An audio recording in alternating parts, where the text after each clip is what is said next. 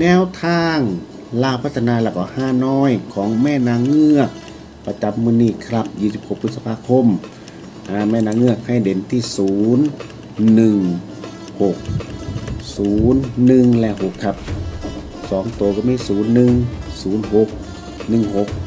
กลับหัว 6 เป็น9ก็เป็น 0 9 1 9 6 9 ครับ